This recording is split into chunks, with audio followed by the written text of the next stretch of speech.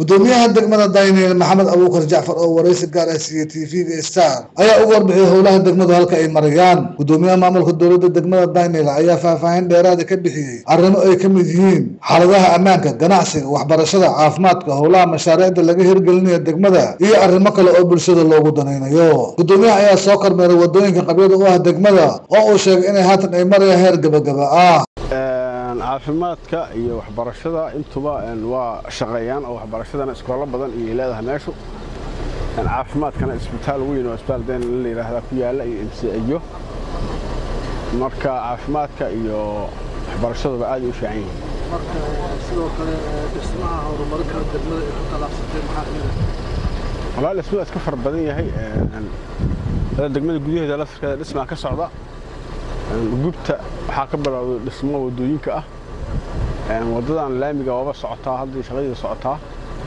Marka waayaha uka ugu badan shaqooyinka lahay waa intaas.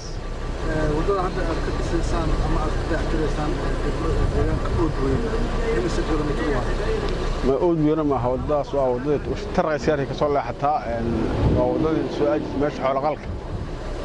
Marka wadadaas waa adiga laamiga ilaa xooloqalka inta ka dhexaysa la rabaa in laga shaqeeyo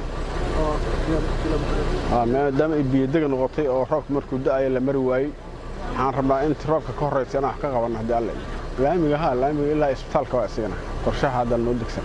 Wallaahi cid kasta deegaanka iyo gobolka banaadir iska kaashada waxa ugu badan waa dadka deegaanka ah oo shacabka ah iyo gobolka banaadir oo na kaalmeeya intaasba waa nagala shaqeeyaan xaaladda amniga waa sidee xaalada amniga wallaahi aad u fiican tahay hadda dhib weyn ma jiro. Annagu waxaan aaminsannahay inay boqolkiiba boqol ay tahay xagga amniga. Wax mar dhaca waa iska jiraan laakiin inta badan waxaan u badannahay amni. Wallaahi beerahaas hadda waa nabad meelaha oo shabaabka uu marka hore joogay oo laga tegi lahay ahayd laakiin shabaabkii wax waa iska bixinnay hadda annagaa joogna waxaa noo qorshaysan beerahaas iyo deegaanka dhan intiisa dhanba inaan amnigooda aan sugno.